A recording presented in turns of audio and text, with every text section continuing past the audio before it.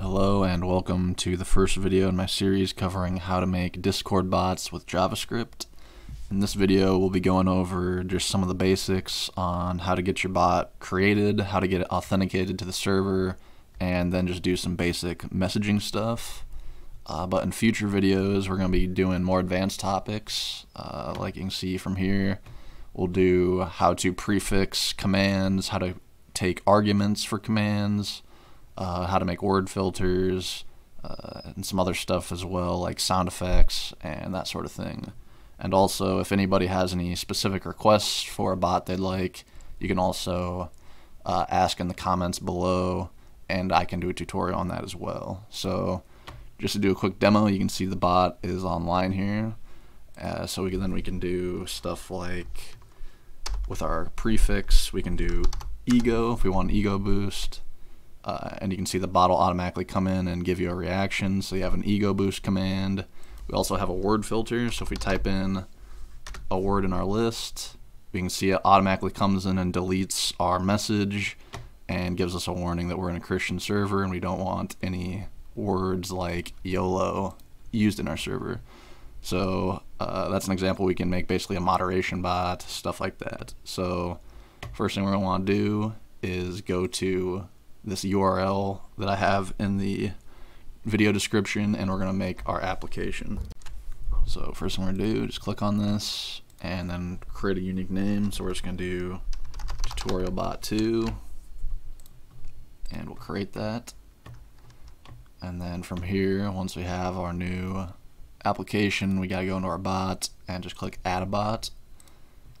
So create that and then what we have to do next is go to OAuth 2 and you have to authenticate. So go right here and add a redirect. So all this needs to be is a local URL because we don't need to do anything with it. So we're just going to do http dot slash slash local host. I'm to click save changes. And then down here, we're going to select that URL and then we're going to select bot. And then all you have to do is click this URL, uh, and we need to give it permissions as well. So then once we have that, we can just open this in a new tab, and it'll basically give us this pop-up where we can authenticate. So you want to select the server, this is the one I've made, and then authorize it. And generally it'll give you this verify that you're not a robot, and just go through this process and verify. And if everything went well, now we can see in this chat, we can see the second bot popped up. So our thing is properly authenticated. Now all we have to do is write the code. So for uh, environment, we need basically something that can run JavaScript. So uh, if you're a programmer and you already have Node.js installed in a text editor, you can work with that and follow along. If you're not a programmer or you just haven't uh, installed this stuff and you want to get started as easily as possible, you can click this link in the description. And what this is, is Code Sandbox allows you to basically set up, uh, you don't have to do anything, and allows you to run this code right in your browser. So it makes it really easy. So what we're going to do now is basically we're going to we go into where our bot is, we can close out of this. And now we need to go back to our bot and we need to grab our token. And this is what's going to allow us in our code to log in. And from there, we're just going to do a basic uh, check with a text command. And then in future videos, we'll do those more advanced bots. So you can just clear out all this text right here and go to add dependency and we're going to use a library called discord.js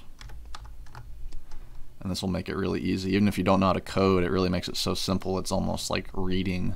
So you can basically uh, it doesn't take a lot of programming skills to work with this library. So I let this stuff all load and now what we want to do is import our Discord library. So we're going to create a variable and we're going to require discord.js and then we're going to create our bot. So const bot equals new Discord client. And then once we have that created, what we have to do is log in with our token. So we're gonna, this is what we got from back here, this little token right here, copy that, and then create a string, so parentheses, and then below that, we can use that to log in. So we're gonna do bot.login, and we're just gonna use that token there. And now to verify that's all working, what we're going to do is bot.on ready, and then we're going to create a function. And inside this, we're just going to do console.log bot is working. Whoops. And so if everything's working properly, when we do that, and we can see we get bot is working. So what this means is basically uh, this just automatically runs when the bot starts, but right now we don't have anything programmed to do actually any commands. So no matter what we do in here, nothing's going to happen because this bot, it's only, the only thing it knows how to do is when it starts up, it just says bot is working. But what we can see is that this thing is now green, it's online, and it's waiting. So uh, what we're going to do next is just the simplest little text command, and then from there, uh, I'm going to wrap this tutorial up. So to make a text command, we're going to do bot.on again, but instead of doing ready, we're going to do message. And this is basically what this does is it listens for, uh, these are events, so it listens for whenever a message goes into the chat, you can then write a function that responds depending on various conditions. So we're to do message, and then for that, uh, we're to do if msg message dot content equals hello. We're going to do message dot reply hello. So this is basically about the simplest thing you can do, but we're going to save that.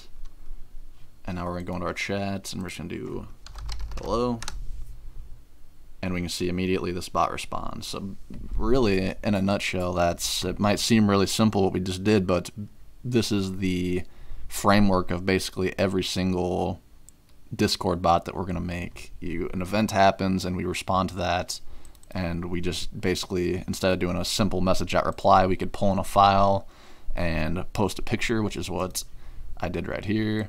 Uh, you can do all sorts of stuff, play a sound effect, that sort of thing. So uh, for this first tutorial though, I just wanted to do the basics.